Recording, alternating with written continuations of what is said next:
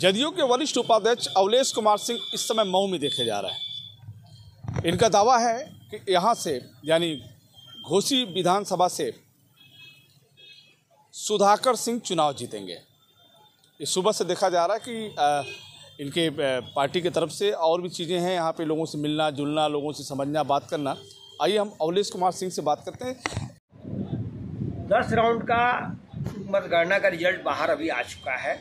और उसमें बारह हज़ार एक सौ उनतालीस वोट से बड़े भाई सुधाकर सिंह आगे चल रहे हैं। भारतीय जनता पार्टी पूरी तरह से चुनाव हार रही है। और मैंने पहले भी कहा था कि समाजवादी पार्टी के बड़े भाई सुधाकर सिंह जी भारी वोटों से चुनाव जीतेंगे। हम उम्मीद करते हैं कि 50 से साठ हज़ार वोटों से चुनाव जीतेंगे। और इसी के साथ ही ये भारतीय जनता पार्टी सेमीफाइनल मान रही थी। और हम लोग तो इसको सामान्य तौर पर चुनाव लड़े हैं। पूरे उत्तर प्रदेश से, पूरे हिंदुस्तान से भारतीय जनता पार्टी का सफाया होने जा रहा है। वो सेमी फाइनल लड़के चुनाव लड़ी है।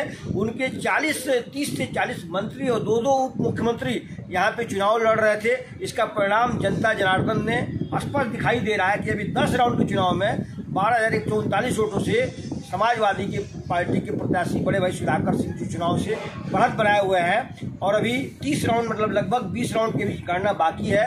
उम्मीद करते हैं कि चालीस से पचास हज़ार पचास हज़ार से ऊपर से ही चुनाव जीतेंगे।